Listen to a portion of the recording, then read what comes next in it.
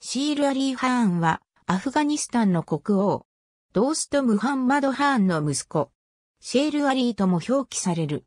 父により後継に選定され、1863年に王位に就いた。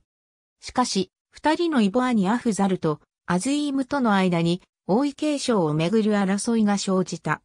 1864年にアフザル・ヤズイームらは反乱を起こし、1866年にシール・アリーは王位を奪われた。アフザルは1867年に死去し、アズイームが後を継いだ。これに対し、シール・アリーも軍事力を回復。1869年に長男のヤーグーブ・ハーンの援助を受けてカーブルに入場した。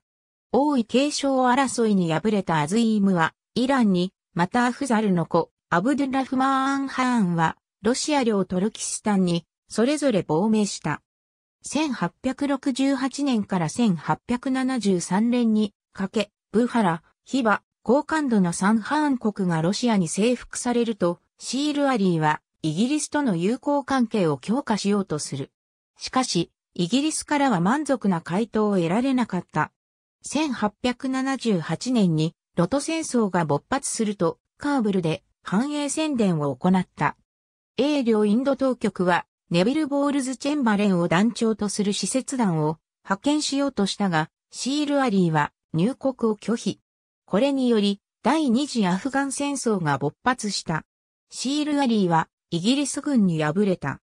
彼はカブール占領の前日に対し、ヤークーブ・ハーンを摂政として残して、自らはバクトリアに逃れ、ロシアの援助を要請したが拒絶される。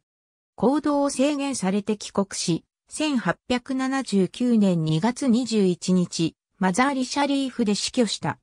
ヤークーブ・ハーンは5月15日にガンダマク条約を結び、第二次アフガン戦争は終結した。ありがとうございます。